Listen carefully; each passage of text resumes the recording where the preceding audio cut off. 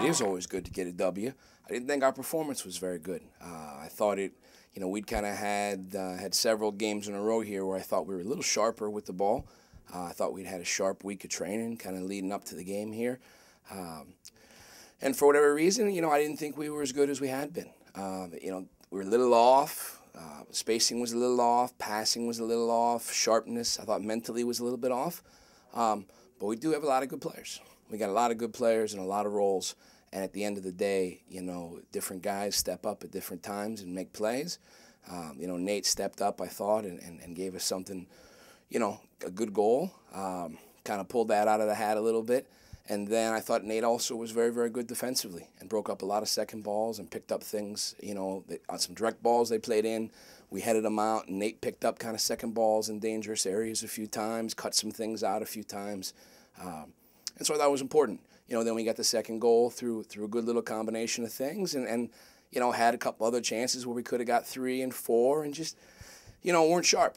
Um, and then I thought, you know, we unfortunately gave away a ball. Uh, you know, we just passed it right to him in, in the middle of the box, and uh, you know the guy tucks it away.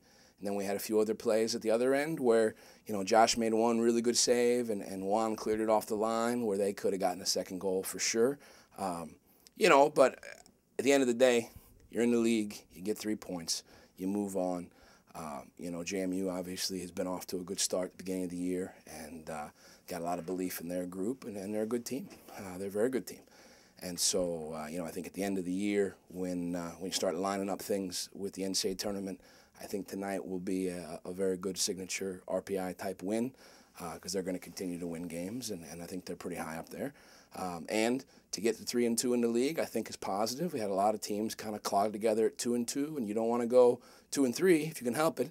Um, so as we're challenging, trying to still chase the CAA title, uh, is important. They were undefeated in the league, so it gives them their first loss. And and uh, you know we'll look at the scores here when we get done and see how everything shakes out. But you know we have such a strong league. Uh, you know, year in and year out, and this year probably from a uh, result standpoint out of the league and RPI, we're probably having the best league uh, the CAA maybe has ever had. And so, um, you know, we're going to see a lot more good teams down the stretch, and each you know each team's going to play the other ones, and you know we'll see we'll see how it all shakes out.